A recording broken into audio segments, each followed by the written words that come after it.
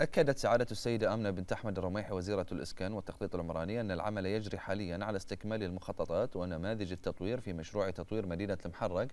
بهدف الشروع في تنفيذ الأعمال الإنشائية والتطويرية في القريب العاجل مشيرة سعادتها إلى أن المشروع يسير وفق الجدول الزمني الموضوع له. موضحة بأن هناك تنسيقا مستمرا من قبل الجهات الحكومية المكلفة بتنفيذ المشروع إنفاذا للأمر الملكي السامي بالمحافظة على الهوية التاريخية والثقافية لمباني ومدن البحرين وتنفيذا لتوجيهات سمو العهد رئيس مجلس الوزراء بتفعيل الخطة التنفيذية الخاصة بالمحافظة على الهوية التاريخية والثقافية